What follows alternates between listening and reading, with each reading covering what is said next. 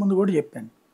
ఒక రాజకీయ పార్టీ అనేటువంటిది సాధారణంగా సంక్షేమ పథకాలు అన్నది ఒకడు ప్రకటించాక సచ్చినట్టు మిగతా వాళ్ళు ఫాలో అవ్వాల్సింది.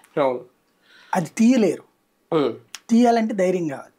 For example Anna canteen Jagan తీసేశాడు. ఆ ధైర్యం ఉంది అతనికి. కానీ ఒక ఉచిత విద్యుత్ తీయగలిగారా చంద్రబాబు?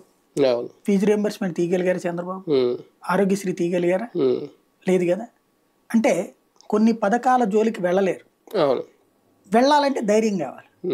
ఇప్పుడు అవి తీసేసిన తర్వాత అన్న క్యాంటీన్లు ఆపేసిన తర్వాతనే కదా జరిగింది. పంచాయతీ ఎన్నికలు కార్పొరేషన్ ఎన్నికలు మున్సిపల్ ఎన్నికలు జడ్పీటీసీలు ఎంపీటీసీలు. అంతే అవును. అన్నిట్లో భారీగానే గెలిచారు కానీ ఎక్కడ లేవని పోలేదు కదా?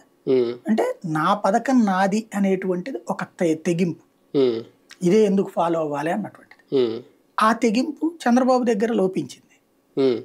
అందుకనినే ఇప్పుడు జగన్ చెప్పిన పథకాలను ఎక్స్పాండ్ చేస్తున్నారు తప్పించి తనదైనటువంటి పథకానికి సంబంధించి ఇప్పటిదాకా విమర్శలు ఏం చేసుకొచ్చారు? జగన్ చెప్పిన నవరత్నాలు. అవి దోపిడీ అని చెప్పారు. నేను అప్పుడే చెప్పా. ప్రజలలో ఒక ఆలోచన మారింది. ఏంటి అంటే మనం ఏం చెప్తాం? అభివృద్ధి సంక్షేమం ఇవన్నీ ఎవడికాడు మాట్లాడడానికి పోచుకోలు కబ్బులు బోళ్ళు చెప్తాడు. డబ్బులు తీసుకోకుండా ఓటేస్తున్న వాళ్ళు ఎంతమంది మందు తీసుకోకుండా వెనకాల వస్తున్న వాళ్ళు ఎంతమంది? ఫుడ్డు మందు